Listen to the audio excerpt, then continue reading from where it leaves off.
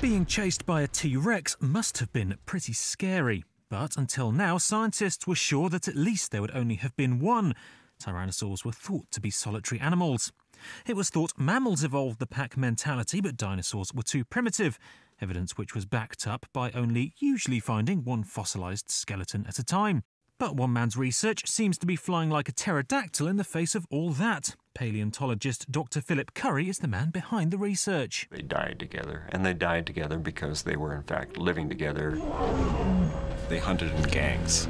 Dr. Currie discovered a mass dino graveyard in Canada, which seems to have proven his point. But not everyone is convinced. The reptilian brain is not as sophisticated as the mammalian brain, and um, I don't think they'd be capable of such behaviours, cooperation. Whether our scaly ancestors hunted alone or in packs, they're still the stuff of legend and nightmare.